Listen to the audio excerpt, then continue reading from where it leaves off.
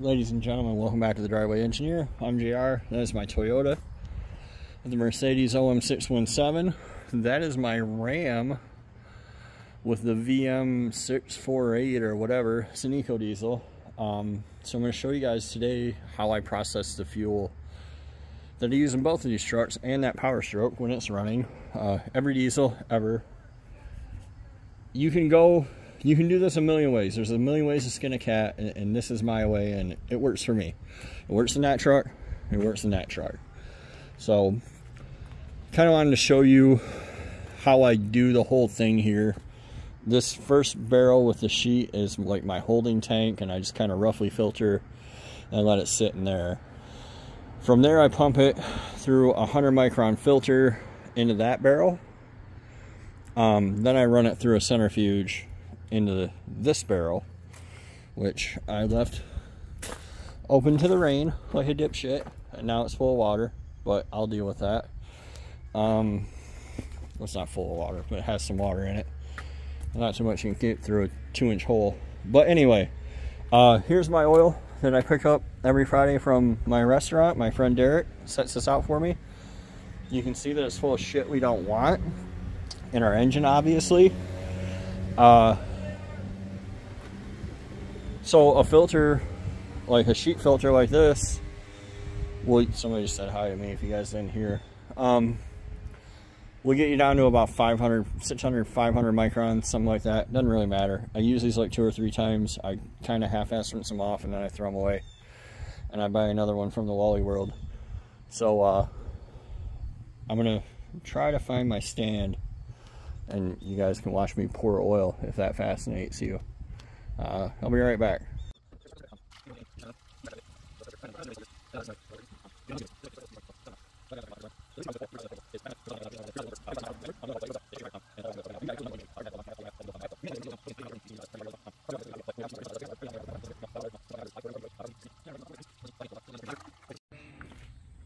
All right, so this is what you're left over with. Some french fries and stir fry and I don't know, you know, breading bunch of gross bullshit. Um, at this point, I take the sheet off, I take it over there where I don't want anything to grow, and I dump it out. And raccoons and squirrels and rats and whatnot come to feed on this, and my cat comes to feed on them, and the circle of life is complete. Uh, to my point earlier about how you can do absolutely nothing, this jar has been sitting here for a couple weeks, and you can see all the bad stuff fell down to the bottom and at the top you just have clean-ish oil.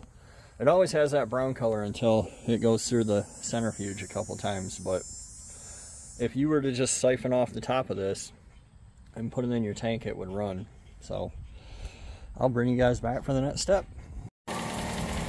All right, so once that's done, once it's run through the water heater in the centrifuge, it sits in there. And then I take it off the bottom.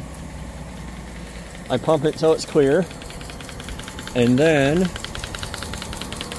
I bypass this system and route it back out which is what's going in this 15 gallon pail here.